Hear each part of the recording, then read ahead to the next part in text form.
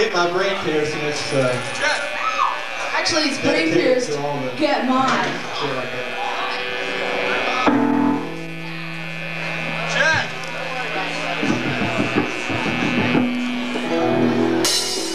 That was great.